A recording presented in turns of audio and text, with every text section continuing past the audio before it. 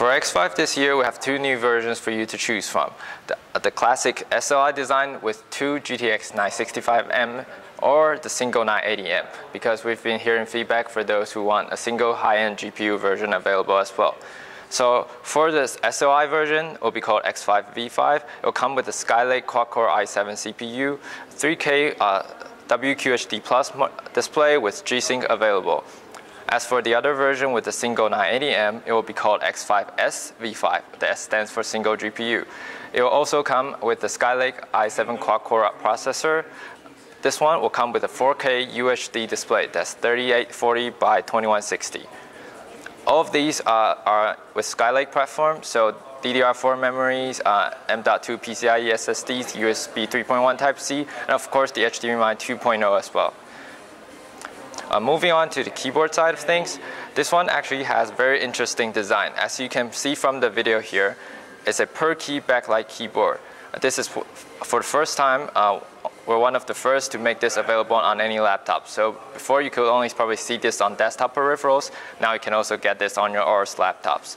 This is called the Aorus Fusion keyboard. You can set up to light up each, each of the keys or only the keys that you require during, depending on your scenario, or just have it run cool animation effects like this.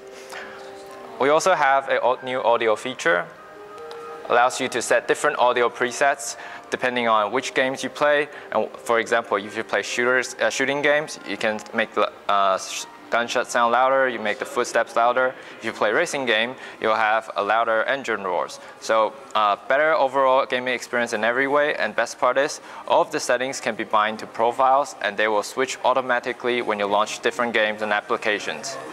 Uh, this one has also been awarded as the CES Innovation Award this year in the computer, hardware, and component category. So moving on to the I.O.